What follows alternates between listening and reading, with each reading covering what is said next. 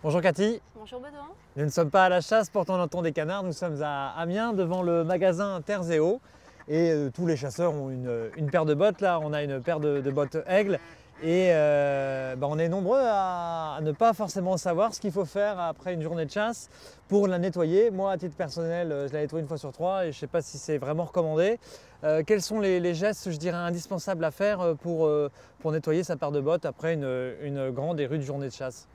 Alors il est recommandé de nettoyer ses bottes. Ouais, Euh, donc après une journée de chasse. Pourquoi? Pour la longévité du produit. Si vous voulez garder vos bottes le plus longtemps possible, Ouais. il faut effectivement l'entretenir. d'accord. Donc euh, c'est très simple.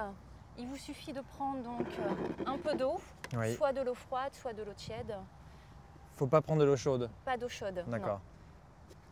Et, hum, Étant donné que le caoutchouc est une matière naturelle, voilà, il faut éviter toute agression euh, par de l'eau chaude ou d'autres produits. Elle peut être légèrement savonneuse aussi Oui. si vous avez beaucoup de taches sur le, sur le produit. D'accord, ok. Donc il vous suffit de nettoyer, hein, Ouais. frotter comme ça l'eau. Ah, je comprends pourquoi je le fais Donc pas souvent. voilà. Ah, il faut mieux le faire euh, chez soi à la campagne que quand on habite en, en ville euh, dans son appartement. Et euh, ça, ça évite quoi globalement justement de, Alors de- de nettoyer? que la botte ne devienne poreuse et ne se craquelle. D'accord, Donc après, ce- effectivement, vous allez avoir une fuite voilà, au niveau du caoutchouc voilà, pour protéger tous les petits points de, les petits points de colle. Ok. Euh, Une fois qu'on a nettoyé, Une fois qu'on a nettoyé donc à l'eau claire, il faut prendre un chiffon sec, ouais, non pelucheux. d'accord. Merci. Donc il vous suffit donc d'essuyer, hein, de la rendre sèche. Et si on a eu une journée euh, vraiment très très pluvieuse et que l'intérieur de, sa botte est, est humide, qu'est-ce qu'on conseille de, de faire en général? Alors il est conseillé euh, de mettre euh, du papier journal Du papier à journal. l'intérieur, voilà, Ouais. qui va absorber l'humidité et qui va faire sécher très rapidement la paire de bottes. Et si vous avez une semelle à l'intérieur qui est amovible, il suffit de la retirer pour la laisser sécher. Et également, je, je- je vous pose la question, si un chasseur laisse pendant une semaine sa paire de bottes humide dans sa voiture, euh, qu'est-ce que ça peut provoquer également sur la paire de bottes? Euh, des moisissures. Des moisissures Des moisissures s'il y a beaucoup d'humidité dessus. D'accord, ok. Voilà.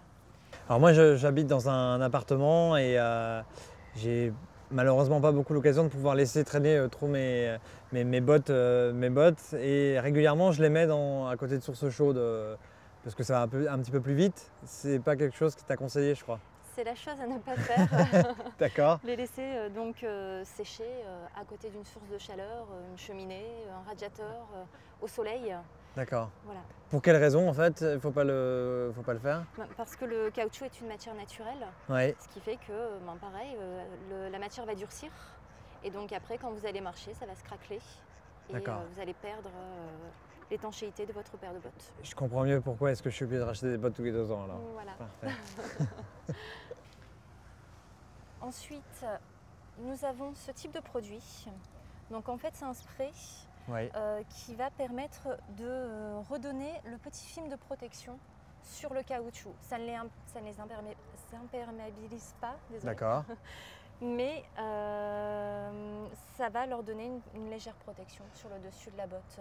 En fait, c'est le petit, je sais pas si je peux le dire, traitement en silicone. Oui, bien sûr. Oui, voilà. D'accord. Donc c'est le traitement en silicone qui permet de euh, redonner donc une brillance et également euh, de protéger euh, contre les taches, contre toutes les agressions.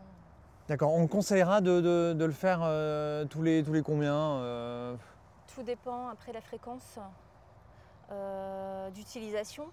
Mais euh, voilà, il est conseillé, bon, pas forcément à chaque fin de, De- de- de chasse. Ouais. Si on chasse tous les jours, ça devient un petit peu contraignant. Mais euh, l'idéal, voilà, c'est euh, quand même deux ou trois fois pendant la période de chasse, en fonction de la pratique, et surtout à la fin de la chasse, avant de les ranger chez soi. On a juste à passer un coup dessus ou est-ce qu'après il faut passer un coup de, un coup de, Non. de Il chiffon? suffit donc de passer donc ce produit comme ça sur la botte. On étale avec le chiffon.